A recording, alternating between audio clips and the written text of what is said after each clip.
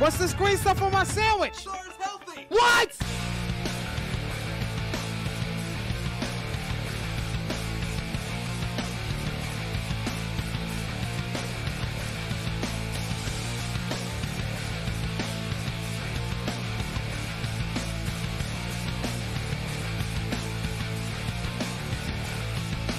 Ladies and gentlemen, welcome back to another reaction video by yours truly.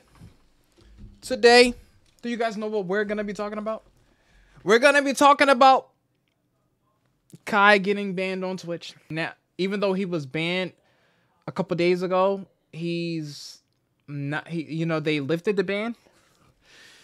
Here's the problem when it comes down to people that get banned on Twitch in general, especially high level uh streamers.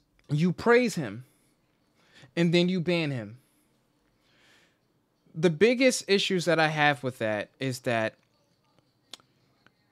Twitch has tendencies to be inconsistent with guidelines and their rules. Here's the problem that I have with Kai's ban, period. For Twitch to ban Kai and not ban hot tub streamers that have no problem turning on the camera, wearing bikinis, bouncing on floatable bananas.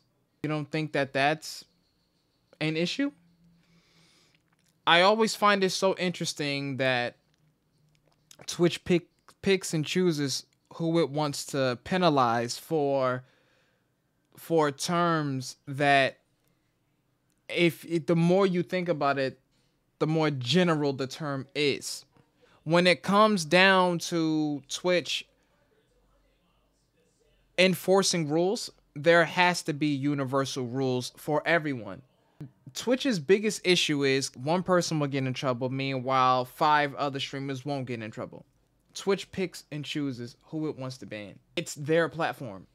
At the end of the day, when it comes down to streaming, I personally think that Twitch needs to develop a universal set of rules that everyone can read. Don't praise someone and then ban them. The same reason why Twitch banned Kai for sexually suggestive role playing, can you not say the same thing for hot tub streamers? Just a question.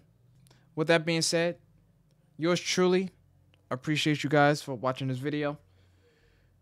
We will see you guys in the next one.